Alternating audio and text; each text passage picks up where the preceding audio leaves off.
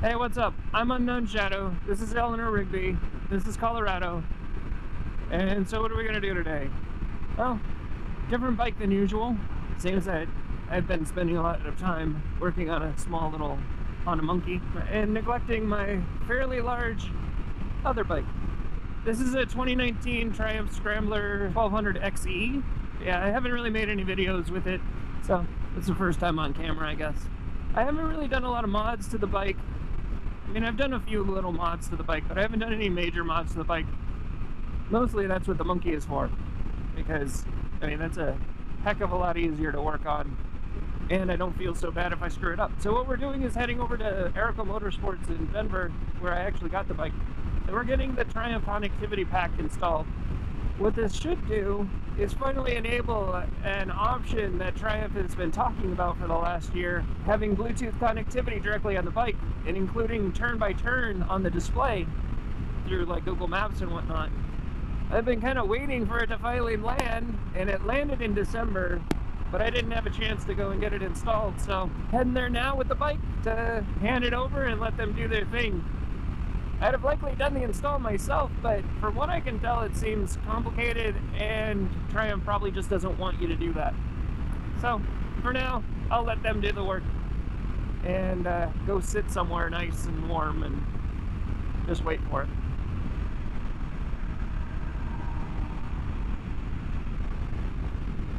Man, heated grips are nice.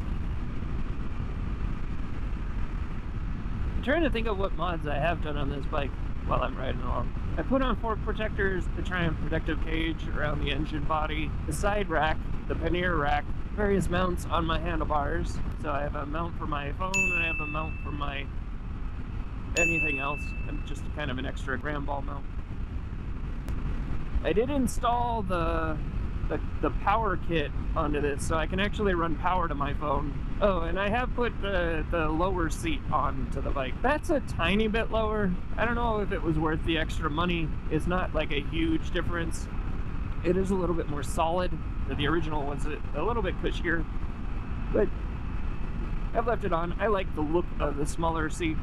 Um, oh, I did put the the front uh, windshield on. I have a small smoke screen not exactly the most useful thing. It helps keep the bugs off the back of the instrument panel, and it kind of pushes the wind just slightly higher, so now it's hitting like my neck versus my chest, or maybe just right at my chin. It looks nice. Some mods that I'm thinking about are, of course, an exhaust. I'm thinking about bringing up the the front fender.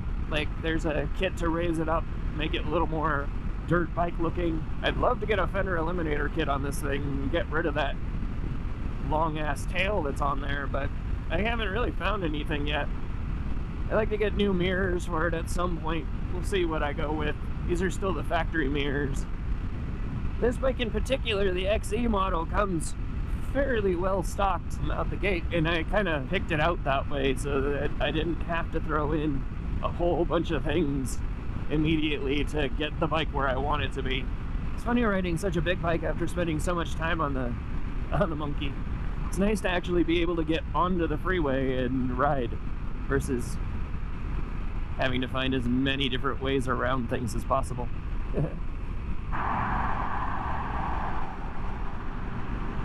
I wonder why I work from home.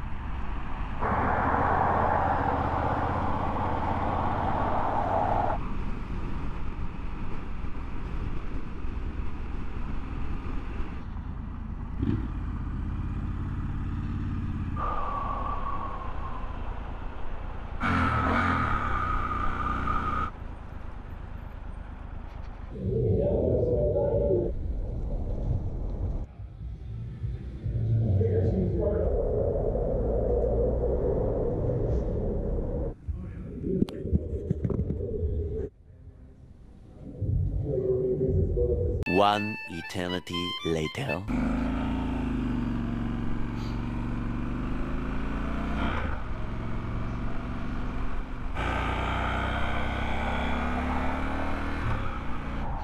So a lot of time has passed. The install of the actual parts didn't take long, I guess, but the overall installation process requires an ECU upgrade, and it seems that that just kind of it was one problem after another for them, so they had to keep retrying it and retrying it and retrying it, and finally it came online. Um, so it took about, what, six hours? Started at 10 a.m., it's almost 4 o'clock now, and I'm finally heading home. Uh, so that, yeah, what was supposed to take like an hour and a half, two hours, took a lot longer. But now it's at least installed, it's on the bike, and we can start figuring out how to use it. There's a new set of menus for controlling the GoPro, for doing navigation, all those parts. It all seems to work. It all pairs just nicely. It uses Google Maps for its navigation, which nothing informed me that I was going to be hitting this much traffic.